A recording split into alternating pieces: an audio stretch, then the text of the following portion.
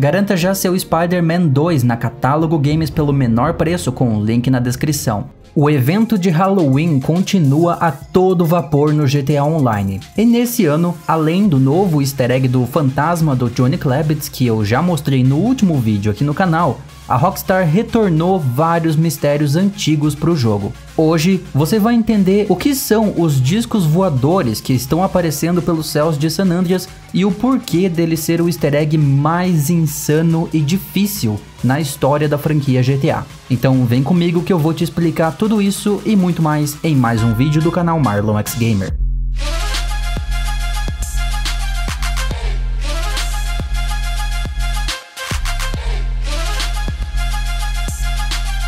OVNI é a sigla para Objeto Voador Não Identificado. E a Rockstar tem um longo histórico de adicionar discos voadores nos seus jogos, então não poderia faltar esse fenômeno inexplicável no GTA Online também. Esse easter egg foi introduzido ano passado, 2022, e eu considero ele o mais difícil na história da franquia GTA.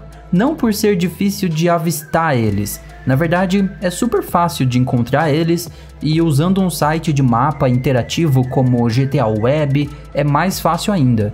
A parte difícil é completar todos os 26, sem perder nenhum deles, e o empenho que a Rockstar exige do jogador se quiser receber itens extremamente raros, de roupas e customização que pouquíssimos jogadores vão conseguir completar. E nesse ano de 2023, os avistamentos de OVNIs estão de volta. Durante o evento, o jogador pode encontrar vários discos voadores aparecendo aí pelos céus do mapa entre 10 da noite e 4 da manhã no horário do jogo, em vários locais do estado de San Andreas. O objetivo do jogador é fotografar esses discos voadores usando o celular e enviar as fotos para o Ômega, que é aquele personagem de Estranhos e Doidos que aparece lá no modo história de GTA V para ganhar 15 mil GTA dólares e mil de reputação por cada uma das fotos. Além de um bônus de 100 mil GTA dólares depois de fotografar todos os OVNIs, que são 26 no total, que aparecem em diferentes locais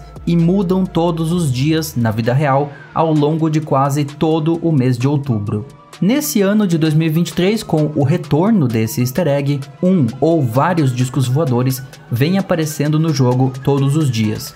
E o mais bizarro, eles mudam de local todo dia ao longo de 20 dias. O evento começou no dia 12 de outubro e vai terminar no Dia das Bruxas, 31 de outubro. O objetivo do jogador é logar todos os dias no GTA Online e tirar uma foto de cada OVNI daquele dia, o que torna esse oficialmente, na minha opinião, o easter egg mais difícil de completar na história da franquia GTA.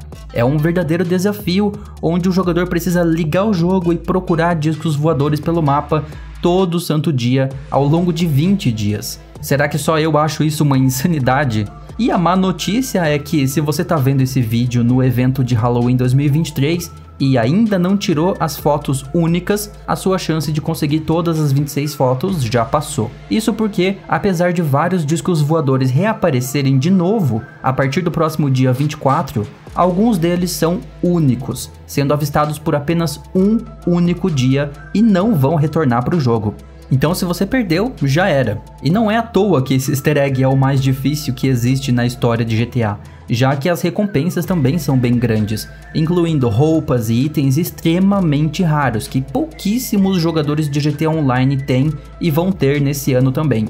Além disso, ao tirar as 26 fotos ao longo desse mês, os jogadores podem conseguir um total de até 490 mil GTA dólares e 20 mil pontos de reputação, o que é bastante coisa. Como eu expliquei antes, esse evento tá rolando desde o último dia 12 de outubro, mas honestamente eu mesmo nem tive saco de ir atrás de tirar as fotos. Eu acho que esse tipo de easter egg só serve para tentar fazer os jogadores logarem todo dia, forçando e obrigando o jogador a entrar todo dia, e eu não tenho tempo nem paciência para isso. Mas eu desejo boa sorte para quem tá tentando. O mais bizarro disso tudo é que a Rockstar poderia dar uma segunda chance de tirar as fotos num período mais curto de tempo, talvez na última semana de outubro, em vez de obrigar o jogador a entrar todo dia. E eles quase fazem isso, só que não já que vários desses discos voadores reaparecer no jogo a partir do próximo dia 24, mas não todos. Por algum motivo, os discos voadores dos dias 15, 18 e um dos discos voadores do dia 20 são únicos e não vão retornar como todos os outros vão no próximo dia 24.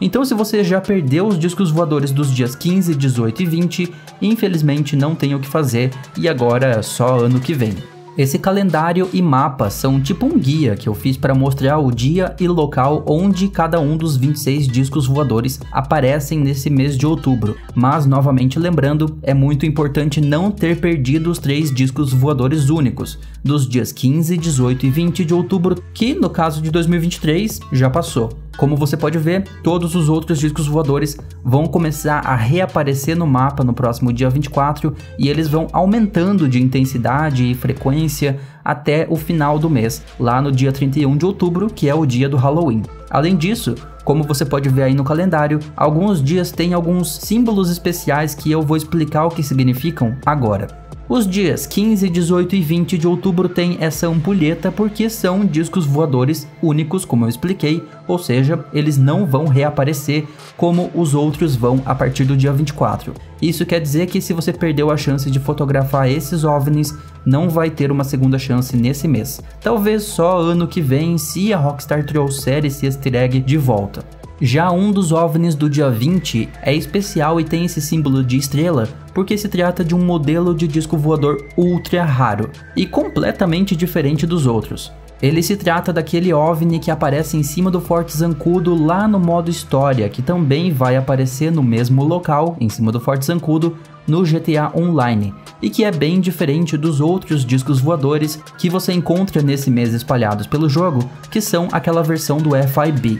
Como você pode ver no calendário, entre os dias 24 e 26 vão aparecer 3 OVNIs por dia no mapa, e dos dias 27 até o dia das bruxas, 31 de outubro, vão aparecer mais 13 OVNIs, espalhados por Los Santos. Basicamente, nesses últimos dias você só vai avistar disco voador o tempo todo enquanto estiver viajando pelo mapa. E isso pode incomodar alguns jogadores, principalmente aqueles que só sabem voar de Oppressor Mark II, já que os motores dos veículos são desligados quando a gente chega perto de um desses discos voadores. Agora, como você pode ver no calendário, nos dias 28 a 31 de outubro tem um símbolo de abdução.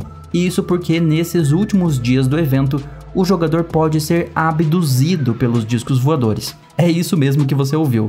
O seu personagem online vai ser abduzido e levado para dentro do OVNI, o que é claramente uma homenagem à missão Alguém falou em Yoga do modo história de GTA V, onde o Michael toma um milkshake batizado lá pelo Jimmy e tem alucinações com macacos e alienígenas que abduzem ele para dentro de um OVNI. A recompensa do jogador por ser abduzido é uma cueca boxer com tema de discos voadores. Então, apesar de não dar mais tempo de completar todas as 26 fotos, pelo menos não nesse ano, fica ligado e joga GTA Online entre os dias 28 e 31 de outubro, Dia das Bruxas, para ser abduzido e ver essas surpresas macabras que estão acontecendo aí pelo mapa. Como eu expliquei, esse easter egg não é necessariamente difícil por ser difícil de encontrar ele, mas sim porque é difícil de completar esse desafio até o fim, pegando aí todas as 26 fotos desses discos voadores que estão aparecendo no jogo, mas eu também queria ouvir muito a opinião de vocês. Comenta aqui embaixo e esse foi o vídeo. Lembrando mais uma vez que nós somos parceiros do portal Viciados, clica no link da descrição para seguir lá no Google Notícias e muito obrigado por assistir. Deixa seu like, se inscreve no canal e ativa o sino das notificações.